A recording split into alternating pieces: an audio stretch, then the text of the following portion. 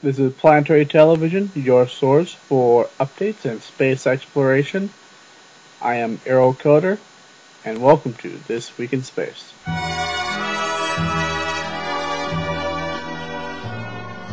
We'll meet again.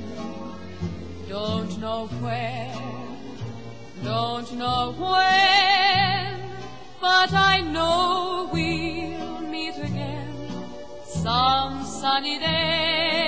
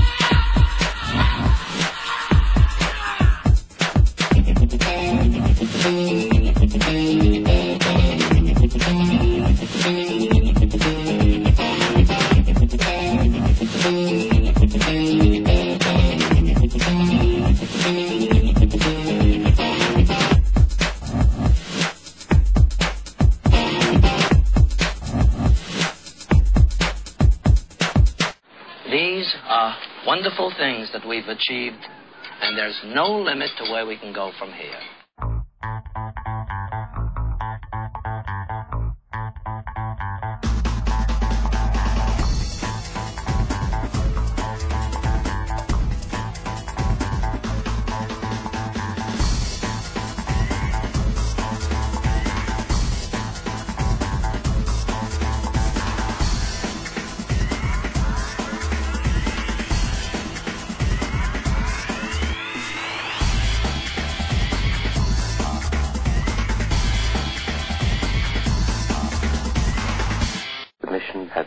Has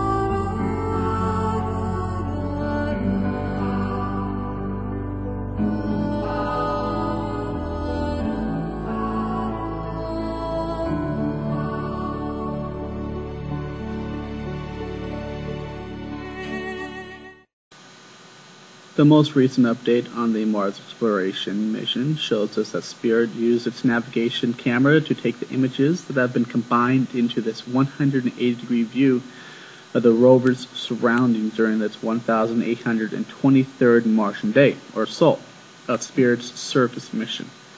It is approximately February 17, 2009. And the center of the view is towards the south-southwest.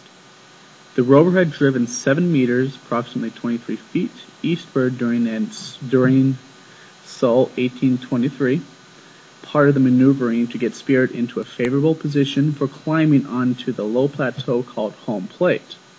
However, after two driving attempts with negotiable progress during the following three sols, the rover's team changed its strategy for getting to destination south of Home Plate the team decided to drive Spirit at least part way around home plate, instead of ascending the northern edge and taking a shorter route across the top of the plateau. Layered rocks forming part of the northern edge of home plate can be seen near the center of the image. Rover wheel tracks are visible on the lower ledge. This image is presented as a cylindrical projection with uh, geometric seam corrections. Now I wanted to uh, show you some recent uh, images released from the space, the Cassini spacecraft. On approximately uh, April 3rd, 2009, uh, this first image, image was released. Um, the orbits of Dione and Titan bring them together in one frame in this distant glimpse from the Cassini spacecraft. Light and dark areas on Dione at the top of the frame hint at, a, at the moon's fractured surface. Through the hazy atmosphere of Titan, at the bottom, the dark region of Senkyo is visible. This view looks towards the Saturn-facing side of Titan and the leading hemisphere of Dione. North on Titan is up and rotated 3 degrees to the left. The image was taken with the Cassini spacecraft wide-angle camera on January 28, 2009 using a spectral filter sensitive to wavelengths of near-infrared light centered at 939 nanometers. The view was acquired at a distance of approximately 2.3 million kilometers uh, from Titan and, and, at a Sun Titan spacecraft or space angle uh, space phase angle of 44 degrees. With strings of icy material thrown in many directions, a huge ray crater stretches across nearly half the leading hemisphere of Saturn's moon Rhea. With the sun almost directly behind the spacecraft in this low phase image, the disk of the moon is almost completely lit for Cassini's camera. Cassini's camera. Lit terrain seen here is on the leading hemisphere of Rhea. North, of, uh, north on Rhea is up and rotated 33 degrees to the right.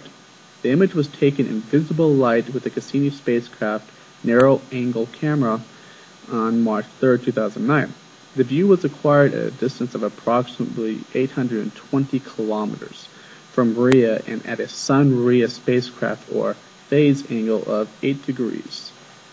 Day breaks on the northern hemisphere of Saturn in this image again from this Cassini spacecraft. The D ring is hidden below the horizon, but working outward from the planet, this image shows the C, B, A, and F rings. The moon Prometheus is a faint speck inside the thin F ring in the upper left of the image. This view looks towards the unilluminated side of the rings from about 33 degrees above the ring plane. The image was taken with the Cassini spacecraft wide-angle camera on March 20, 2009, using a spectral filter sensitive to wavelengths of near-infrared light centered at 853 nanometers. The view was obtained at a distance of approximately 888,000 kilometers from Saturn and at a Sun-Saturn spacecraft or phase angle of 121 degrees. If you have any questions regarding anything that I talked about today, please leave a comment or send me a message and I will read you the answer online. Thank you for joining me for another awe-inspiring episode of Planetary Television. This is Errol Coder and I will see you next time. You